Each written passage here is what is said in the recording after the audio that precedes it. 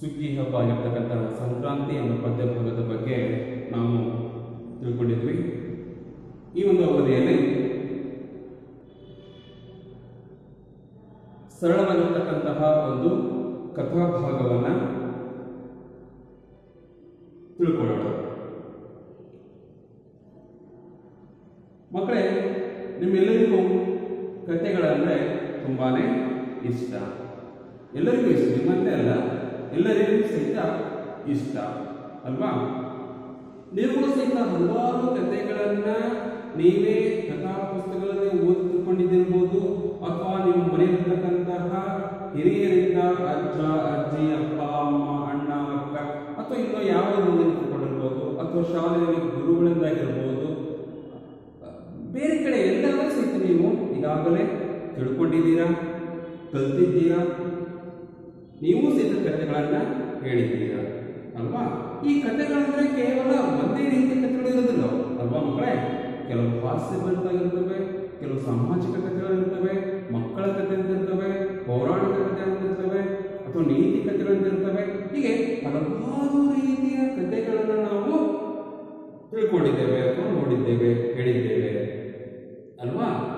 ಈ ಪ್ರತಿಯೊಂದು ಕಥೆಗಳಲ್ಲೂ ಸಹಿತ ಒಂದೇನಾದರೂ ವಿಷಯ ಇದ್ದೇ ಇರುತ್ತೆ. ಅಲ್ವಾ ಮಕ್ಕಳೇ? ಅಲ್ಲಿ ಏನಾದರೂ ಒಂದು ನೀತಿ ಇರುತ್ತೆ. ಏನಾದರೂ ಒಂದು ಸಂದೇಶ ಇರುತ್ತೆ. ಏನಾದರೂ ಒಂದು ಜೀವನಕ್ಕೆ ಮಾರ್ಗದರ್ಶನ ಇರುತ್ತೆ. ಅಲ್ವಾ? ಅಥವಾ ಯಾವುದೋ ಒಬ್ಬ ವ್ಯಕ್ತಿಯ ಸಾಧನೆಯ ಸಂದೇಶ ಇರುತ್ತೆ. ಅವನು ಹೇಗೆ ಅವನು ಸಾಧನೆ ಮಾಡಿದ? ಆ ಸಾಧನೆಗೆ ಅವನು ಯಾವ ರೀತಿಯನ್ನ ಕಷ್ಟವನ್ನು ಪಟ್ಟ? ಯಾವ ರೀತಿಯ ಪ್ರಯತ್ನ ಪಟ್ಟು ಆ ಕಥಾಭಾಗದ ವಸ್ತು ಆದ ಅನ್ನೋ ಒಂದು ವಿಷಯ ವಸ್ತುವಲ್ಲಿ ಇರುತ್ತೆ ಮಕ್ಕಳೇ ಎಲ್ಲರಿಗೂ ಕಥೆಯನ್ನು ಹೇಳೋದಕ್ಕೆ ಬರೋದಿಲ್ಲ. ಓದಬಹುದು, ಆದರೆ ಆ ಕಥೆಯನ್ನು ಹೇಳೋದಕ್ಕೆ ಒಂದು ಸ್ಪಷ್ಟವಾದಂತಹ ಮಾರ್ಗ ಇದೆ. ಆ ಮಾರ್ಗದಲ್ಲಿ ನಾವು ಕಥೆಯನ್ನು ಹೇಳಬೇಕು. ಒಂದು ಪಾಠವನ್ನು ಓದಿದ ರೀತಿಯಲ್ಲಿ ಅದು ಕಥೆಯನ್ನು ನಾವು ಓದ್ಕೊಳ್ತಾ ಹೋದರೆ ಅದು ಕತೆ ಅನಿಸ್ಕೊಳ್ಳೋದಿಲ್ಲ ಹಾಗಾಗಿ ಆ ಕಥೆಯನ್ನ ಎಲ್ಲರಿಗೂ ಸಹಿತ ಹೇಳೋಕೆ ಬರಲ್ಲ ಅದಕ್ಕಾಗಿ ಒಂದು ರೀತಿ ಇರುತ್ತೆ. ಆ ರೀತಿಯ ಮೂಲಕ ನಾವು ಕಥೆಯನ್ನ ಹೇ- ಹೇಳ್ಬೋದು. ನಾವು ಕಥೆಯನ್ನು ಕೇಳ್ತೇವೆ, ಕಥೆಯನ್ನು ಕೇಳಿ ತಿಳ್ಕೊಂಡು ಅದನ್ನು ನಾವು ಮತ್ತೊಬ್ಬರಿಗೆ ಸಹಿತ ಹೇಳಬಹುದು. ಕಥೆಗಳನ್ನು ಓದುವರಿಗೆ ಅಥವಾ ಕೇಳುವವರಿಗೆ ಬಹಳ ಸಂತೋಷವನ್ನು ನಾವು ಉಂಟು ಮಾಡಬಹುದು ಕೆಲ, ಕೆಲವರು ಆ ಕಥೆಗಳನ್ನು ಹೇಳ್ತಾರೆ. ಆ ಕಥೆಯನ್ನು ಹೇಳ್ತಾ ಹೇಳ್ತಾ ಹೇಳ್ತಾ ಇದ್ರೆ ಅದನ್ನ ಎಷ್ಟು ಸಮಯ ಆದರೂ ಸಹಿತ ನಮ್ಗೆ ಗೊತ್ತಾಗೋದಿಲ್ಲ ಅಲ್ವಾ? ಆ ರೀತಿಯ ವಾಕ್ ಚಾತುರ್ಯತೆಯನ್ನು ಹೊಂದಿರತಕ್ಕಂತಹ ವ್ಯಕ್ತಿಗಳು ನಮ್ಮ ಸಮಾಜದಲ್ಲಿ ಇದ್ದಾರೆ. ಅಂಥವರು ಹೇಳ್ತಕ್ಕಂತಹ ಕಥೆಗಳನ್ನು ಸಹಿತ ನಾವು ಎಷ್ಟು ಸಮಯ ಆದರೂ ಸಹಿತ ಆ ಕಥೆ ನಾವು ಕೇಳಬಹುದು. ಅದೇ ರೀತಿ ಈ ಒಂದು ಪಠ್ಯಪುಸ್ತಕದಲ್ಲಿ ಒಂದು ಪೌರಾಣಿಕ ಹಿನ್ನೆಲೆಯನ್ನು ಹೊಂದಿರತಕ್ಕಂತಹ ಕಥೆಯನ್ನು ನಿಮಗೆ ನೀಡಿದ್ದಾರೆ ಈ ಕಥೆಯನ್ನು ನೀವು ಓದು, ಕೇಳುವ ಮೂಲಕ ಸರಳವಾಗಿರ್ತಕ್ಕಂತಹ ಕಥೆಗಳನ್ನ ಕಥೆಯ ಪುಸ್ತಕಗಳನ್ನ ಓದಬಹುದು, ಮತ್ತೆ ತಿಳ್ಕೊಳ್ಬಹುದು. ಒಂದು ಸಾಮರ್ಥ್ಯವನ್ನು ನಾವು ನೀವುಗಳು ಈ ಪಾಠದ ಮೂಲಕ ತಿಳ್ಕೊಳ್ತೀರಾ? ಅಂದ್ರೆ ಈ ಕಥೆಯನ್ನು ನೀವು ಓದಿಕೊಂಡು ತುಳಿಯುವುದರ ಮೂಲಕ ಅಷ್ಟೇ ಅಲ್ಲ, ನೀವೇ ಕೊಟ್ಟಂತಹ ಒಂದು ಕಥಾವಸ್ತುವಿನ ಪುಸ್ತಕವನ್ನ, ಕಥೆಯ ಪುಸ್ತಕವನ್ನ ಓದಿ ತಿಳಿದುಕೊಳ್ಳತಕ್ಕಂಥ ಸಾಮರ್ಥ್ಯವನ್ನು ನೀವು ಈ ಪಾಠದ ಮೂಲಕ ಗಳಿಸ್ಕೊಳ್ತೀರಾ? ಹಾಗಾದ್ರೆ ಮಕ್ಕಳೇ, ಈಗ ನಾನು ನಿಮ್ಮ ಪಠ್ಯ ಪುಸ್ತಕದ ಒಂಬತ್ತನೇ ಪಾಠ ಆಗಿರ್ತಕ್ಕಂತಹ ಒಂದು ಪೌರಾಣಿಕ ಹಿನ್ನೆಲೆ ಹೊಂದಿರತಕ್ಕಂತಹ ಭಗೀರಥ ಎಂಬ ಪಾಠದ ಪಾಠವನ್ನು ನಾವು ಈ ತರಗತಿಯಲ್ಲಿ ನೋಡೋಣ. ಯಾರು ಈ ಭಗೀರಥ? ಪೌರಾಣಿಕ ಒಬ್ಬ ವ್ಯಕ್ತಿ. ಇದು ಕೆಲವರು ಕಾಲ್ಪನಿಕ ಅಂತಾರೆ ಅಥವಾ ಸೃಷ್ಟಿ ಅಂತ ಹೇಳ್ತಾರೆ ಅಥವಾ ಏನೋ ಒಂದು ಹೇಳ್ತಾರೆ. ಒಟ್ಟಾರೆ ಪೌರಾಣಿಕ ಕಾಲದಲ್ಲಿ ಇರ್ತಕ್ಕಂಥ ಒಬ್ಬ ಅರಸ. ರಾಜ. ಈ ರಾಜ ತನ್ನ ಒಂದು ಸಾಮರ್ಥ್ಯವನ್ನ ಪ್ರಯೋಗ ಮಾಡಿ ಈ ಭೂಮಿಗೆ ಗಂಗೆಯನ್ನ ಕರೆತಂದಂತಹ ಒಬ್ಬ ವ್ಯಕ್ತಿ ಅಂತ ಹೇಳ್ತಾರೆ. ಭಗೀರಥ ಅಂದ್ರೆ ಯಾರಪ್ಪ ಅಂದ್ರೆ ಪೌರಾಣಿಕ ಕಾಲದಲ್ಲಿರುವಂತಹ ಒಬ್ಬ ಅರಸ. ಇವನು ಶಿವನ ಮುಡಿಯಲ್ಲಿರ್ತಕ್ಕಂಥ ಶಿವನ ತೆರೆದಿರ್ತಕ್ಕಂಥ ಗಂಗೆಯನ್ನ ಭೂಮಿಗೆ ತಂದಂತಹ ಒಬ್ಬ ಮಹಾನ್ ಪುರುಷ ಅಂತ ಈ ಮಹಾನ್ ಪುರುಷ ಭಗೀರಥನ ಭಗೀರಥ ಹೇಗೆ ಗಂಗೆಯನ್ನ ಅಥವಾ ಶಿವನ ಮುಡಿರತಕ್ಕಂಥ ಗಂಗೆಯನ್ನ ಭೂಮಿಗೆ ತಂದ ಅನ್ನುವುದನ್ನ ಈ ಪಠ್ಯದ ಮೂಲಕ ನಾವು ತಿಳ್ಕೊಳ್ತೇವೆ. ಹಾಗಾದ್ರೆ ಈ ಪಾಠವನ್ನು ನಾವು ಮೊದಲಿಗೆ ಓದೋಣ, ನಂತರದಲ್ಲಿ ಇದರ ಸಾರಾಂಶದ ಜೊತೆಗೆ ನಾವು ತಿಳ್ಕೊಳ್ತಾ ಹೋಗೋಣ. ಪಾಠ ಒಂಬತ್ತು, ಭಗೀರಥ. ಪುರಾಣ ಕಾಲದಲ್ಲಿ ಭಗೀರಥ ಎಂಬ ದೊರೆ ಇದ್ದನು ಅವನ ಅರವತ್ತು ಸಾವಿರ ಜನ ಕಾತಂದಿರು ಕಪಿಲ ಮುನಿಯ ಕೋಪಕ್ಕೆ ಸಿಕ್ಕಿ ಸುಟ್ಟು ಭಸ್ಮವಾಗಿದ್ದರು ಅವರಿಗೆ ಸ್ವರ್ಗ ಲಭಿಸಬೇಕೆಂದು ಭಗೀರಥನು ಚಿಂತಿಸುತ್ತಿದ್ದನು. ಅದಕ್ಕೆ ದೇವಲೋಕದ ಗಂಗೆಯನ್ನು ಭೂಮಿಗೆ ತಂದು ಅವನ ತಾತಂದಿರ ಬೂದಿಯ ಮೇಲೆ ಹರಿಸಬೇಕೆಂದು ಜ್ಞಾನಿಗಳಾದ ಋಷಿಗಳು ಹೇಳಿದರು. ಪುರಾಣ ಕಾಲದಲ್ಲಿ ಅಂದರೆ ಈ ಒಂದು ಲೋಕ ಅಥವಾ ಈ ಒಂದು ಪ್ರಕೃತಿ ಏನಿದೆಯೋ ಅದು ಆ ಸ್- ಪ್ರಾರಂಭ ಸೃಷ್ಟಿಕರಕ್ಕೆ ಕಾರಣಕರ್ತರಾದಂತಹ ಕೆಲವು ಮಹಾನ್ ಪುರುಷರು ಋಷಿ ಮುನಿಗಳು ವಾಸವಾಗಿರ್ತಕ್ಕಂತಹ ಒಂದು ಕಾಲ, ಪೌರಾಣಿಕ ಕಾಲ. ಅಂತಹ ಪೌರಾಣಿಕ ಕಾಲದಲ್ಲಿ ಭಗೀರಥ ಎಂಬ ಒಬ್ಬ ಅರಸ ಇಲ್ಲ ದೊರೆಯಿಲ್ಲ ಆ ಭಗೀರಥ ಎಂಬ ಅರಸನಿಗೆ ಸುಮಾರು ಅರವತ್ತು ಸಾವಿರ ತಾತಂದಿರು ಇದ್ರು. ಅರವತ್ತು ಸಾವಿರ ತಾತಂದಿರು ಇದ್ರು. ಈ ಅರವತ್ತು ಸಾವಿರ ತಾತಂದಿರು ಒಬ್ಬ ಮುನಿ ಮುನಿ ಅಂದ್ರೆ ಋಷಿ. ಒಬ್ಬ ಋಷಿಯ ಕೋಪಕ್ಕೆ, ಕೋಪ ಅಂದ್ರೆ ಸಿಟ್ಟು. ಆ ಸಿಟ್ಟಿಗೆ ಗುರಿಯಾಗಿ. ಹಿಂದೆ ಋಷಿ ಮುನಿಗಳು ಎಷ್ಟು ಶಕ್ತಿಯನ್ನು ಹೊಂದಿರಪ್ಪ ಅಂದ್ರೆ ಒಬ್ಬ ಮನುಷ್ಯನನ್ನ ತಮ್ಮ ಇಚ್ಛೆಯಂತೆ ಏನಾದರೂ ಮಾಡತಕ್ಕಂತಹ ಒಂದು ಸಾಮರ್ಥ್ಯ ಋಷಿ ಮುನಿಗಳಲ್ಲಿ ಇತ್ತು. ಬೂದಿ ಆಗಿದ್ರೆ ಬೂದಿ ಹಾಕಿದ್ರು ಕಲ್ಲಾಗಿದ್ರೆ ಕಲ್ಲು ಹಾಕಿದ್ರು ಸರ್ವನಾಶ ಸರ್ವನಾಶ ಆಗ್ತಾ ಇದ್ರು, ಅಥವಾ ಬೇರೆ ರೂಪಾಂತರವಾಗಿದ್ರೆ ಕಾದು ಅಂದ್ರೆ ಅಷ್ಟು ದಿವ್ಯ ಶಕ್ತಿಯನ್ನು ಹೊಂದಿರತಕ್ಕಂತಹ ಪುರುಷರು, ಜ್ಞಾನಿಗಳು ಆ ಋಷಿ ಮುನಿಗಳಾಗಿದ್ದರು ಅವರು ತಮ್ಮ ತಪಸ್ಸಿನ ಫಲದ ಮೂಲಕ ಆ ಜ್ಞಾನವನ್ನ ಪಡಿತಾ ಇದ್ರು ಅವರು ಏಕಾಗ್ರತವಾಗಿರ್ತಕ್ಕಂಥ ಸ್ಥಳದಲ್ಲಿ ಯಾವುದೋ ಒಂದು ಆ ಅರಣ್ಯ ಪ್ರದೇಶದಲ್ಲಿ ಒಂದು ಮರ ಗುಹೆ ಅಥವಾ ಇನ್ನೊಂದೆಲ್ಲೋ ಕಡೆ ಕೂತ್ಕೊಂಡು ದೇವರ ತಪಸ್ಸನ್ನು ಮಾಡಿ ಆ ದೇವರಿಂದ ಆ ಶಕ್ತಿಯನ್ನು ಪಡೆದುಕೊಂಡು ಏನು ಮಾಡ್ತಾ ಇದ್ದಾರೆ ಅದನ್ನು ಪಡ್ಕೊಂಡು ತಮ್ಮ ಜ್ಞಾನವನ್ನು ಜನರಿಗೆ ತಿಳಿಸ್ತಾ ಇದ್ರು. ಅಕಸ್ಮಾತ್ ಏನಾದ್ರು ಕೋಪ ಬಂದರೆ ಅದು ಮತ್ತೊಂದೇ ಆಗ್ತಾ ಇತ್ತು. ನಮ್ಮಲ್ಲಿ ಸಹಿತ ಹಲವಾರು ಪೌರಾಣಿಕ ಆ,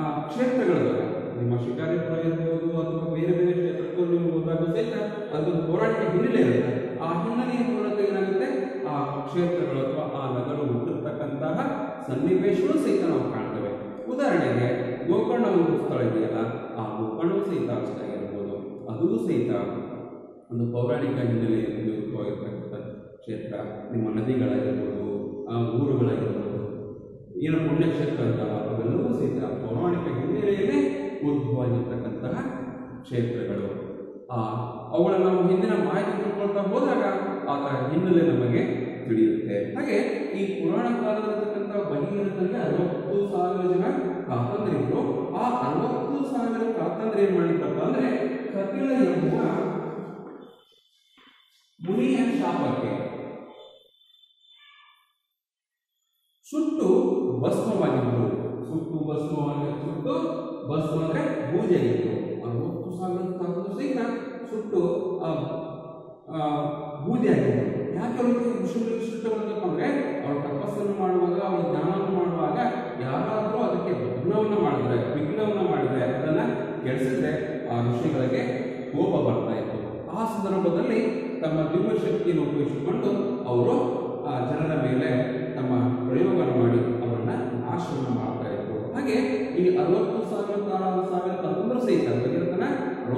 ತಂತ್ರ ಸಹಿತ ಇದೇ ರೀತಿ ಮುನಿಯ ಶಾಪಕ್ಕೆ ಸಿಕ್ಕು, ಸುಟ್ಟು, ಭಸ್ಮ ಆದರು ಅವಾಗ ಭಗೀರಥನಿಗೆ ಇವನಿಗೆ ಈ ಅರವತ್ತು ಸಾವಿರ ತಾತಂದರಿಗೆ ಹೇಗಾದರೂ ಮಾಡಿ ಸ್ವರ್ಗ ಲಭಿಸಬೇಕು ನಮ್ಮ ಹಿಂದೂಗಳಲ್ಲಿ ಒಂದು ಕಲ್ಪನೆ ಇದೆ. ಸತ್ತ ಮೇಲೆ ಎರಡು ದಾರಿ ಇರುತ್ತೆ. ಒಂದು ಸ್ವರ್ಗ ಸ್ವರ್ಗ, ಇನ್ನೊಂದು ನರಕ. ಯಾರು ಒಳ್ಳೇದು ಮಾಡ್ತಾರೋ ಅವರು ಸ್ವರ್ಗಕ್ಕೆ ಹೋಗ್ತಾರೆ ಯಾರು ಕೆಟ್ಟದ್ದು ಮಾಡ್ತಾರೆ ಅವರು ನರಕಕ್ಕೆ ಹೋಗ್ತಾರೆ ಸ್ವರ್ಗದಲ್ಲಿ ಸುಖವಾಗಿರ್ತಾರೆ, ನರಕದಲ್ಲಿ ಚಿತ್ರಹಿಂಸೆಯನ್ನು ಅನುಭವಿಸ್ತಾರೆ.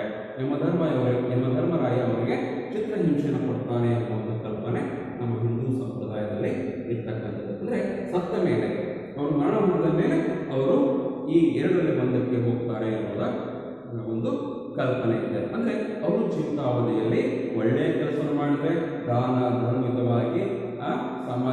ಉಪಯುಕ್ತ ಕಾರ್ಯ ಮಾಡಿದ್ರೆ ಅವ್ರು ಸ್ವರ್ಗಕ್ಕೆ ಹೋಗ್ತಾರೆ. ಏನಾದರೂ ಕೆಟ್ಟದನ್ನ ಮಾಡಿದ್ರೆ, ಕೊಲೆ ಮಾಡಿದ್ರೆ, ಕಳ್ಳತನ ಮಾಡಿದ್ರೆ, ಮೋಸ, ವಂಚನೆ, ದ್ರೋಹ ಮಾಡಿದ್ರೆ ಅವರು ನರಕಕ್ಕೆ ಹೋಗ್ತಾರೆ ಅನ್ನೋ ಒಂದು ಕಲ್ಪನೆ ನಮ್ಮಲ್ಲಿದೆ. ಅದರ ಮೇಲೆ ಏನಾಗುತ್ತೆ ಅಂತಂದ್ರೆ ಈ ಭಗೀರಥ ತನ್ನ ಸ, ಈಗಾಗಲೇ ಕಪಿಲ ಮುನಿಯ ಶಾಪಕ್ಕೆ ಗುರಿಯಾಗಿ ಭಸ್ಮಾಗಿರ್ತಕ್ಕಂತಹ ಆ ಅರವತ್ತು ಸಾವಿರ ಜನ ಪಾಪಂದರಿಗೆ ಸ್ವರ್ಗ ಲಭಿಸಬೇಕೆಂದು ಅವನು ಚಿಂತೆಯನ್ನು ಮಾಡ್ತಾ ಇದ್ದ. ಅದ್ರ ಬಗ್ಗೆ ಚಿಂತನೆ ಮಾಡ್ತಾ ಹೇಗೆ ನಮ್ಮ ತಾತಂದ್ರಿಗೆ ಸ್ವರ್ಗವನ್ನು ಲಭಿಸಲಿ ಅಂತ ಯೋಚನೆ ಮಾಡ್ತಾ ಇದ್ದ. ಅದಕ್ಕೆ ಆ, ಕೆಲವು ಜ್ಞಾನಿಗಳು ಋಷಿ ಮುನಿಗಳು ಏನು ಮಾಡ್ತಾರೆ ಅಂದರೆ ಅವನ ಆಸ್ಥಾನದಲ್ಲಿ ಅವರಿಗೆ ಭಗೀರಥನಿಗೆ ಒಂದು ಉಪದೇಶ ನೀಡಲಿರ್ತಕ್ಕಂತಹ ಅವರಿಗೆ ಬೇಕಾಗಿರ್ತಕ್ಕಂತಹ ಕೆಲವು ಮುನಿಗಳು ಜ್ಞಾನಿಗಳು ಏನು ಮಾಡ್ತಾರೆ ಒಂದು ಸಲಹೆಯನ್ನು ಕೊಡ್ತಾರೆ ಒಂದು ಸೂಚನೆ ಕೊಡ್ತಾರೆ. ನೋಡು ಭಗೀರಥ ನೀನು ನಿನ್ನ ಈಗಾಗಲೇ ಕಪಿಲ ಮುನಿಯ ಶಾಪಕ್ಕೆ ಗುರಿಯಾಗಿ ಮರಣ ಹೊಂದಿರತಕ್ಕಂತಹ ಅಥವಾ ಬೂದೆಗಿರ್ತಕ್ಕಂಥದ್ದು ಭಸ್ಮವಾಗಿರ್ತಕ್ಕಂತಹ ನಿಮ್ಮ ತಾತಂದರಿಗೆ ಸ್ವರ್ಗ ಲಭಿಸಬೇಕಂದ್ರೆ ನೀವು ಏನ್ ಮಾಡಬೇಕಪ್ಪ ಅಂದ್ರೆ ದೇವಲೋಕದಲ್ಲಿರ್ತಕ್ಕಂತಹ ಗಂಗೆಯನ್ನ ಭೂಮಿಗೆ ತರಬೇಕು. ಅವಾಗ ನೀವು ನಿಮ್ಮ ತಾತಂದರಿಗೆ ಸ್ವರ್ಗವನ್ನ ಕೊಡೋದಕ್ಕೆ ಅವರಿಗೆ ಮೋಕ್ಷವನ್ನು ಹೊಂದೋಕ್ಕೆ ಸಹಾಯ ಆಗುತ್ತೆ ಅಂತ ಋಷಿ ಮುನಿಗಳು ಆ ಭಗೀರಥನಿಗೆ ಒಂದು ಸಲಹೆಯನ್ನು ಕೊಟ್ಟರು ಮುಂದೆ ದೇವಲೋಕದ ಗಂಗೆಯನ್ನು ಭೂಮಿಗೆ ತರುವುದು ಅಸಾಧ್ಯವಾದ ಕೆಲಸವಾಗಿತ್ತು. ಆದರೆ ಭಗೀರಥ ತನ್ನ ನಿರ್ಧಾರದಿಂದ ಎಳ್ಳಷ್ಟು ಹಿಂದೆ ಸರಿಯಲಿಲ್ಲ. ಎಷ್ಟೇ ಕಷ್ಟವಾದರೂ ಗಂಗೆಯನ್ನು ಭೂಮಿಗೆ ತಂದೇ ತರುತ್ತೇನೆಂದು ತಪಸ್ಸೆ ಕುಳಿತ. ಬಾಯಾರಿಕೆ, ಹಸಿವು, ನಿದ್ರೆಯನ್ನು ಮರೆತು ಬಿಸಿಲು, ಮಳೆ ಬಿರುಗಾಳಿಯನ್ನು ಸಹಿಸಿಕೊಂಡ ಋಷಿಮುನಿಗಳು ಕೇಳಿದ ಹಾಗೆ ದೇವಲೋಕದ ಗಂಗೆಯನ್ನು ಭೂಮಿಗೆ ತರಬೇಕು ಅಂತ ದೃಢ ನಿರ್ಧಾರವನ್ನು ಮಾಡ್ತಾನೆ ಭಗೀರಥ. ಅಂದರೆ ದೇವಲೋಕದಲ್ಲಿರ್ತಕ್ಕಂತಹ ಗಂಗೆಯನ್ನ ದೇವತಾನು ದೇವತೆಗಳು ವಾಸ ಮಾಡ್ತಿರ್ತಕ್ಕಂತಹ ಆ ಲೋಕ, ದೇವಲೋಕದಲ್ಲಿರ್ತಕ್ಕಂತಹ ಆ ಗಂಗೆಯನ್ನ ಕುಲ ಮಾನವರು ವಾಸ ಮಾಡ್ತಕ್ಕಂತಹ ಭೂಮಿಗೆ ತರುವಂತಂದ್ರೆ ಅಷ್ಟು ಸುಲಭವಾಗಿರ್ತಕ್ಕಂತಹ ಒಂದು ವಿಷಯ ಆಗಿರಲಿಲ್ಲ. ಆದರೂ ಸಹಿತ ಅದು ಅಸಾಧ್ಯವಾಗಿರ್ತಕ್ಕಂತಹ ಒಂದು ಕೆಲಸ. ಸಾಧ್ಯ ಅಲ್ಲ, ಅಷ್ಟು ಸುಲಭ ಅಲ್ಲ. ಅಂತಹ ಅಸಾಧ್ಯವಾಗಿರ್ತಕ್ಕಂಥ ಕೆಲಸವನ್ನ ಮಾಡೇ ಮಾಡಬೇಕು. ಎಷ್ಟೇ ಕಷ್ಟವಾದರೂ ಸಹಿತ ದೇವಲೋಕದ ಗಂಗೆಯನ್ನು ನಾನು ತರಬೇಕು ಅಂತ ಎಳ್ಳಷ್ಟು ಹೆದರದೆ, ಸ್ವಲ್ಪವೂ ಹೆದರದೆ, ಎಳ್ಳಷ್ಟು ಅಂದ್ರೆ ಸ್ವಲ್ಪವೂ ಸಹಿತ ಹೆದರದೆ? ಸ್ವಲ್ಪವೂ ಹಿಂದೆ ಸರಿಯದೆ.